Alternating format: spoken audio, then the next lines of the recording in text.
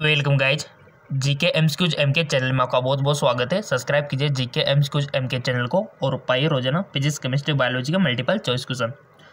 So guys इसमें English और हिंदी दोनों लैंग्वेज आपके लिए दी हुई है, ठीक है? और यहाँ पर हम फिजिक्स केमिस्ट्री बायोलॉजी इनके कॉम्बिनेशन यानी कि इन सभी के इंपॉर्टेंट जो क्वेश्चन है टॉप क्वेश्चन से, जो अच्छे क्वेश्चन से ईजी भी है हार्ड भी है मिडल के भी है सभी प्रकार के क्वेश्चन यहाँ पर हम डिस्कस करने वाले जो कि आपके entrance exam point of view से बहुत ही ज़्यादा इंपॉर्टेंट है। क्वेश्चन हम पढ़ते हैं, उसके बाद आंसर आपको चूज़ करना है और फिर इसका आंसर हम आपको बताएँगे, ठीक है? इससे आपका टेस्ट भी हो जाएगा, आपको जो लर्निंग है वो भी बढ़ेगी, ठीक है? और आपका जो प्रैक्टिस जिसको आप बोलते हो, वो भी इंक्रीज होगी। देखो, दूरी की सबसे बड़ी इकाई क्या है? लार्जेस्ट यूनिट आपको बतानी है डिस्टेंस ऑफ़ दूरी की, ठीक है? दूरी की सबसे बड़ी इकाई क्या है? पार्स एक प्रकाश वर्ष खगोलीय इकाई या फिर माइक्रोन? दूरी की सबसे बड़ी इकाई। ऐसे क्वेश्चन वन लाइनर के क्वेश्चन काफ़ी बार पूछे जा चुके हैं ठीक है? तो इनकी प्रैक्टिस हो जाए तो बेस्ट रहेगा आपके लिए। सो so, इसका राइट ऑप्शन है पार्सेक क्या है? पार्सेक दूरी की सबसे बड़ी इकाई क्या है? पार्सेक अगला क्वेश्चन है। इंपॉर्टेंट है सारे क्वेश्चन चंद्रमा की सतह का मध्य दिन का तापमान है। चंद्रमा की सतह का मध्य दिन का तापमान कितना होता है guys the mid day temperature of the surface of the moon forty degree centigrade seventy degree centigrade या फिर वन हंड्रेड डिग्री सेंटीग्रेड या फिर वन फोर्टी डिग्री सेंटीग्रेड चंद्रमा की सतह का मध्य दिन का तापमान आपको बताना है। अब अगर आपने चंद्रमा के बारे में थोड़ी बहुत स्टडी की होगी या फिर आपने चैनल देखे होंगे डिस्कवरी वगैरह, ठीक है? अंतरिक्ष यात्री के बारे में थोड़ी बहुत आप इंटरेस्ट रखते होंगे तो इजीली आपको आ जाएगा। चूज़ कर लिया होगा आपने। चंद्रमा की सतह का मध्य दिन का तापमान, इसका राइट ऑप्शन वन हंड्रेड ठीक है? वन हंड्रेड डिग्री सेंटीग्रेड सौ डिग्री सेंटीग्रेड इसका राइट ऑप्शन हो जाएगा। सूर्य के प्रकाश मंडल में पाए जाने वाले गहरे पेच क्या कहलाते हैं? Dark patch found in photosphere of the sun in called सूर्य के प्रकाश मंडल में पाए जाने वाले गहरे पेच क्या कहलाते हैं? वाले दीप्तपुंज सूर्य का धब्बा ब्लैक होल। इसका राइट ऑप्शन हो जाएगा सूर्य का धब्बा अगला क्वेश्चन विषम को पहचाना है जो कि पेंड ऑड माइक्रोन, मोल, प्रकाश वर्ष, एंगस्ट्रम। सो इसका राइट ऑप्शन हो जाएगा मोल अगला क्वेश्चन प्रकाश की तरंग देर को प्रदर्शित किया जाता है. माइक्रोन फर्मी एंगस्ट्रम प्रकाश वर्ष. प्रकाश की तरंग देर को प्रदर्शित किया जाता है.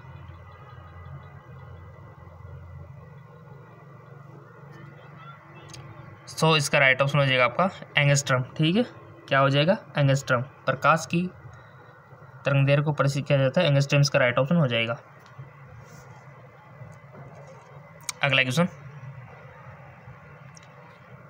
the S I unit of temperature यानी कि ताप की एस आई इकाई है। सेकेंड केल्विन सेल्सियस फारेनहाइट ताप की एस आई इकाई। सो इसका राइट ऑप्शन हो जाएगा आपका कैलविन ठीक है? कैलविन इसका राइट ऑप्शन हो जाएगा।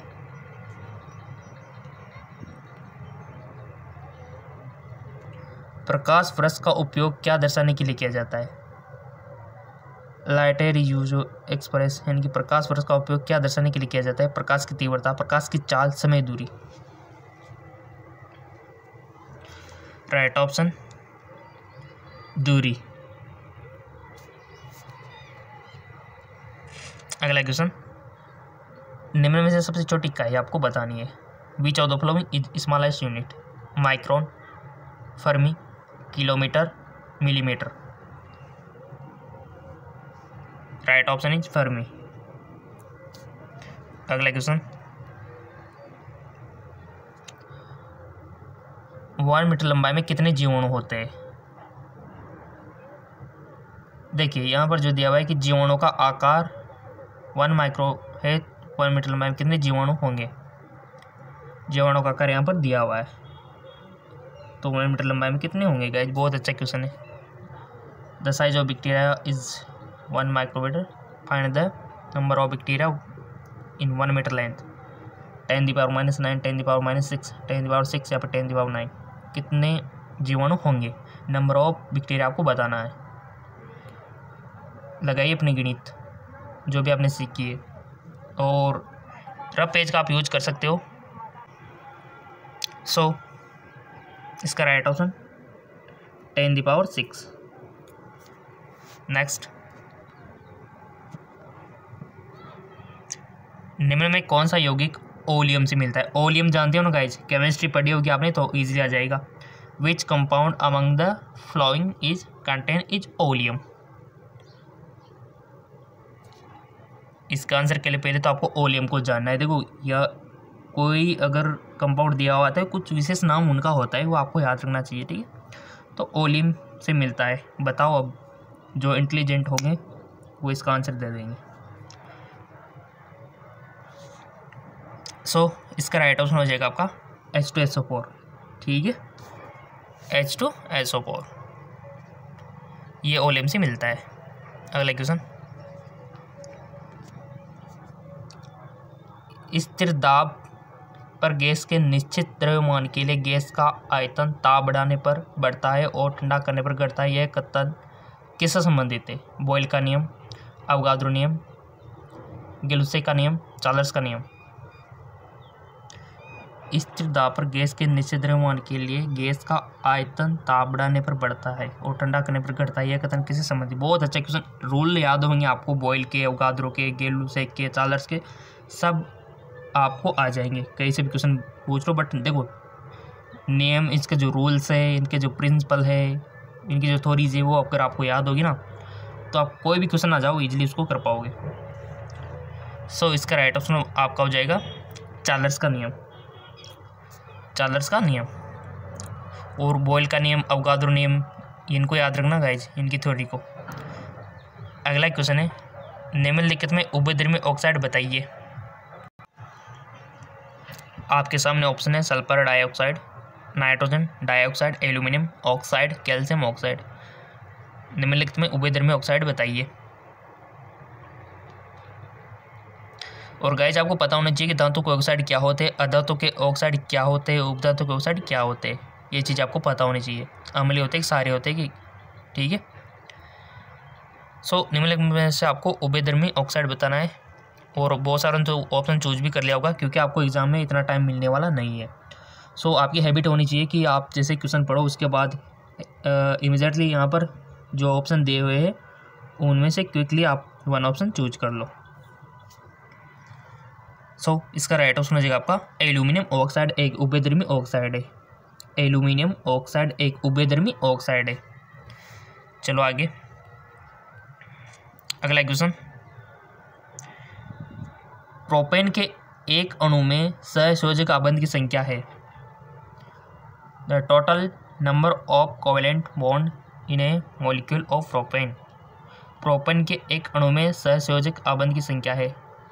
Eight ten twelve nine so इसका राइट ऑप्शन चूज़ कर लिया होगा आपने। चूज़ कर लिया करो गाइस बिना कहे आप वन ऑप्शन तो आपको करना ही चूज़ जैसे हम इसको रीड करते रीड होने के बाद कंप्लीट होने के बाद आप इनको, जैसे हम ऑप्शन बोलते हैं तो आप चूज़ कर लिया करो जो भी आपकी नॉलेज के अकॉर्डिंग ठीक है? सो इसका राइट ऑप्शन हो जाएगा टेन नेक्स्ट एलपीजी खाना पकाने वाले गैस के मुख्य अवयव, ये जो क्वेश्चन है, ये गाइज़ हमारे टाइम पे आया था, ठीक है? जब हमने इंट्रांस एग्ज़ाम दिया था, उस टाइम पे आया था ये। एलपीजी खाना पकाने वाली गैस के मुख्य अवयव है। मीथेन एवं एथेन एथेन एवं फ्रोपेन फ्रोपेन एवं ब्यूटेन ब्यूटेन एवं पेंटेन।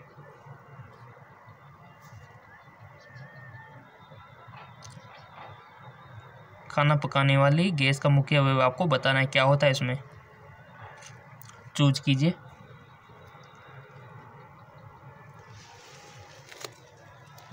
सो so, इसका राइट ऑप्शन हो जाएगा आपका प्रोपेन एवं ब्यूटेन प्रोपेन एवं ब्यूटेन इसका राइट ऑप्शन हो जाएगा। और गाइज़ इसमें गंध किसके कारण आती है? आपने जो अपने रसोई में आपने देखा होगा किचन में जो आपके सिलेंडर होता है, रसोई गैस, ठीक है? उसमें से गंध आती है तो किसके कारण आती है? Methyl mercaptan methyl mercaptan याद रखना इसको, ठीक है? नेक्स्ट क्वेश्चन क्योंकि इसमें मिला दिया जाता है, ताकि आपको पता लग जाए कि कैसे लिंकेज हो रही नहीं तो आपको कैसे पता चलेगा। तो उसमें मेथाइल मेरक्रिप्टोन मिला दिया जाता है। कपड़ों को सुखाने के लिए रस्सी पर क्यों फैलाया जाता है? देखो साइंस है अब आप कहोगे कि सुखाया जाता है बट ऐसा थोड़ी है कि इसमें साइंस है कि क्यों सुखाया जाता है। जिससे कि उसमें सलवट ना पड़े, उन्हें पूर्ण आकार में लाने के लिए प्रेस करना आसान होता है। उनमें पानी के वाष्पीकरण के दर को बढ़ाने के लिए या फिर कपड़ों के रंग को सुरक्षित करने के लिए। बताओ साइंस छिपी हुई है। अब आप किसी आम आदमी से ऐसे पूछोगे कि कपड़ों को रस्सी पर क्यों सुखाया जाता है तो वो तो बेवकूफ़ समझेगा बट ऐसा नहीं है, इसमें साइंस छिपा हुआ है। वो तो यही कहेगा, सुखाया जाता है तो सुखाया जाता है बट ये बात नहीं, क्यों सुखाया जाता है, यहाँ पर क्या साइंस लगा हुआ है? जैसे अपन कहते हैं ना कि नीचे क्यों गिरती है वस्तु। आम आदमी के लिए तो गिरती है तो गिरती है बट आपके लिए साइंस के स्टूडेंट हो, आपको थोड़ा सा दिमाग लगाना पड़ता है यहाँ पर ठीक है? सो इसका राइट ऑप्शन हो जाएगा आपका। कि यहाँ पर उनमें पानी के वाष्पीकरण की दर को बढ़ाने के लिए तार पे सुखाया जाता है। क्योंकि सत्तर पर बढ़ेगा तो वाष्पीकरण की दर भी बढ़ेगी, ठीक है? अगला क्वेश्चन लुइस अमल वे योगी के जो बताइए। इलेक्ट्रॉन को ग्रहण करते हैं, इलेक्ट्रॉन का त्याग करते हैं, इलेक्ट्रॉन के युग्मों को ग्रहण करते हैं, इलेक्ट्रॉन के युग्मों का त्याग करते हैं। लुइस अमल वे योगी के जो बताओ। इसका राइट ऑप्शन हो जाएगा आपका। इलेक्ट्रॉनिक युग्मों को ग्रहण करते। हैं इलेक्ट्रॉन के युग्मों को ग्रहण करते राइट अगला क्वेश्चन दहन की प्रक्रिया में गैस का अवशोषण होता है और गैस बाहर निकलती है। बताओ। During the combustion process of gas which absorb in and the gas give out दहन की प्रक्रिया में कौन से गैस का अवशोषण होता है और कौन से गैस बाहर निकलती है? बताओ अब आंसर। एन टू अवशोषित होती है सी ओ टू निकलते सी ओ यानी कि कार्बन मोनोऑक्साइड अवशोषित होती है सी ओ टू बाहर निकलते हैं। ओ टू अवशोषित होती है सी ओ टू बाहर निकलते है। एन टू अवशोषित होती है या फिर ओ टू बाहर निकलती है। दहन की प्रक्रिया में। इसका राइट ऑप्शन हो जाएगा आपका ऑटो सी ओ टू यानी कि ऑटो अवशोषित होती है और सी ओ टू बाहर निकलती है। दहन की प्रक्रिया में, जी हाँ बिल्कुल। ऑटो क्या होता है गाइज़ अगर किसी भी चीज़ को जलाना है तो ऑक्सीजन की रिक्वायरमेंट होगी और जैसे वो जलेगी तो सी ओ टू छोड़ेगी ठीक है? सिंपल सी बात है। बिना ऑक्सीजन के आप पढ़ते आ रहे होंगे कि किसी भी चीज़ का जलना पॉसिबल नहीं है। ऑक्सीजन है तभी जलती हो कोई भी वस्तु होगी ठीक है? अगला क्वेश्चन बेकिंग सोडे में टार्टरिक अम्ल का क्या कार्य है? What is the function of tartaric acid baking powder baking के समय सोडियम कार्बोनेट को उदासीन करने के लिए, मधुर की तरह बुनी वस्तु को हल्का तथा परिफलन करने के लिए, परीक्षण की तरह। टाइम दिया जा रहा है आपको ऑप्शन चूज़ करने का, कोई दिक्कत नहीं।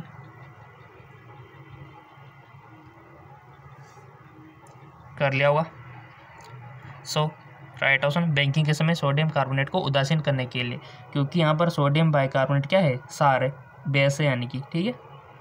और यहाँ पर जो आपसे पूछा गया कि वैकेंसी टार्टरिक अम्ल अम्ल एसिड है तो सार और अम्ल मिलकर उदासीन तो होंगे सही, ठीक है? और सी ओ टू गैस उत्सर्जित करते आपने देखा होगा। निम्नलिखित भोज्य पदार्थों में से प्रोटीन स्रोत को पहचाना है। मक्का, पालक, मसूर की दाल, घी। अगर आपने प्रोटीन, कार्बोहाइड्रेट, वसा के सोर्स पढ़े होंगे तो ईजिली आपको आ जाएँगे और क्वेश्चन बनता है यहाँ से।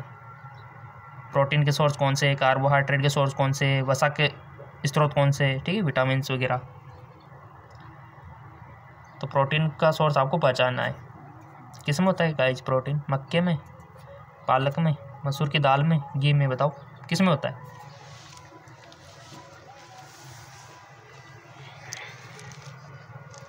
चूज़ कर लिया होगा। इसका राइट ऑप्शन है मसूर की दाल में। सिंपल सी बात है, दिमाग लगाने वाली बात है कि दालों में ही तो प्रोटीन होती है। ठीक है ना? और जो घी, तेल चिकनी चीज़ें होती है, इसमें क्या होता है गैस इनमें होता है फैट यानी कि वसा। ठीक है? और पालक में आयरन इस प्रकार विटामिन आप याद रख सकते हो। प्रोटीन कार्बोहाइड्रेट कार्बोहाइड्रेट में क्या आता है? मीठी चीज़ें। जैसे शुगर हो गया, गुड़ हो गया, ठीक है? जितनी मीठी चीज़ें ना, वो आ जाएगी।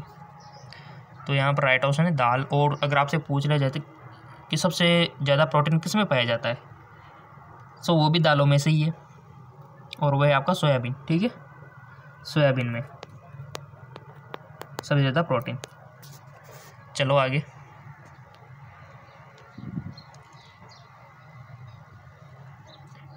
निम्नलिखित में से क्या जंतुओं से प्राप्त नहीं होता है? यानी कि आपको याद होना चाहिए कि क्या क्या प्राप्त होता है। Which of this not open from animal मांस, दूध, अंडे, दालें। बताइए। ओह सिंपल सा क्वेश्चन है। सो गाइज़ दालें प्राप्त नहीं होती है, ठीक है? बट ये आपको कंफ्यूज करने के लिए एग्जामिनर ऐसे क्वेश्चन देता है जानबूझ के। ठीक है ना? चलता है एक और। और गाइज़ इसी थोड़े से अगर आपको हार्ड क्वेश्चन चाहिए तो हमारा जे के लोन जे के लोन जॉब चैनल आपके लिए दो दो चैनल हमने बना रखे ताकि आपको एक ही दिन में ज़्यादा वीडियो मिल सके। तो J K loan job channel को फॉलो कर लेना लिंक नीचे दिया हुआ है डिस्क्रिप्शन में। फिजिक्स केमिस्ट्री बायोलॉजी के लिए, ठीक है? क्वेश्चन भी यही आएँगे आपके एंट्रेंस एग्ज़ाम में। सोयाबीन तथा एवोकेड्स मुख्य स्रोत है।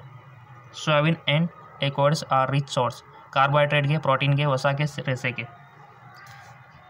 सोयाबीन एवं किसके स्रोत है? आ गया होगा तो क्वेश्चन आपको। अभी तो हम इसको करके निकले। इसका राइट ऑप्शन हो जाएगा आपका प्रोटीन के। प्रोटीन के होते क्या जी?